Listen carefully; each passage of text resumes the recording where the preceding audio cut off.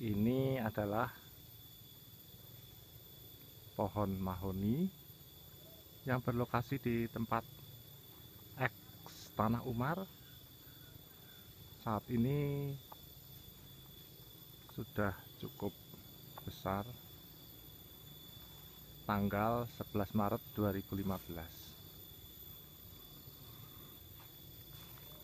nah kita tunjukkan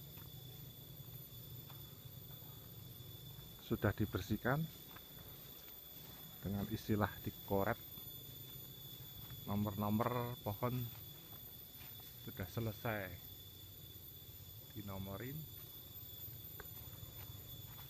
Ada sekitar 96 nomor dengan ukuran pohon besar dan kecil. Tuh, kurang lebih seperti ini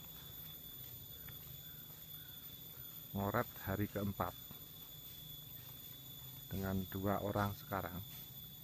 Hari ke satu dan ketiga tiga orang